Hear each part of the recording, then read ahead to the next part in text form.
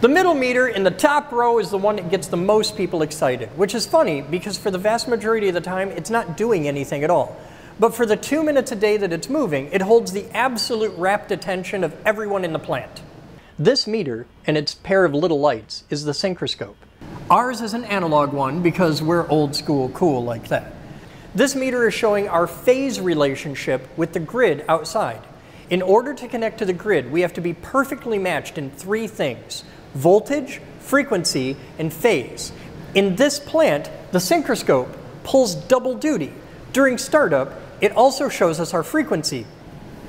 Kinda. It's not really designed for this, but it works well enough for now, and for now has been since 1993. Not for nothing, but in 1993, I looked like this. Maybe it's time for some upgrades, eh?